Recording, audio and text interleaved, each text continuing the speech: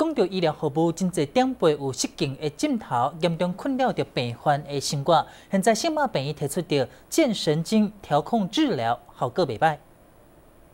失禁症患者拢有真难讲出嘴，甲面对生活品质受到影响。新马立林病院大肠直肠外科叶中红医师表示，这类型的患者无分男女，有的年纪较大，生理机能退化，有可能是实行过重大手术，比如大肠直肠癌，也者是肠燥症等等。方式叫做健神经的调控治疗。那这个治疗它很简单的，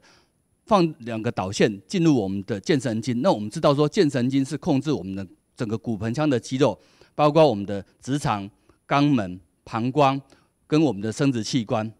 那经由这些神经的刺激，可以活化我们的肌肉，然后达到我们神经控制的效果，而且使我们的不管是排尿或是排便的控制，能够得到一定程度的改善。那最大的好处是，它可以经由一些呃测试的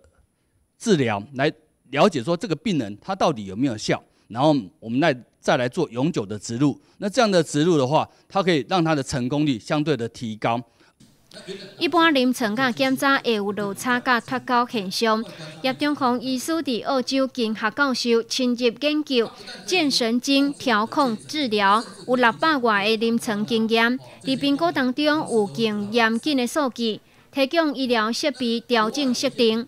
叶中红医师表示，初期会先以肛门括约肌的生理回馈肌肉训练来减缓患者的症状，然而严重者则是需要健神经的治疗法，借由神经刺激器的直接甲启动来控制骨盆腔肌肉甲肛门出口周围括约肌的协调，有效控制失禁的现象。同样的，都非常的有效。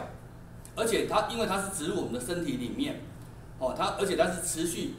由机器来带动我们肌肉的训练，不再像我们过去是因为我们主动的要想到的去做才会做，而且这个病人他植入以后，他是二十四小时机器都带着我们的肌肉做，啊，这样的效果会不但它的效果会比较持续，而且它的效果会比较。叶中红医师表示，健神经治疗法方式会帮助失禁者解决困扰。新闻蔡明东家己去采访报道。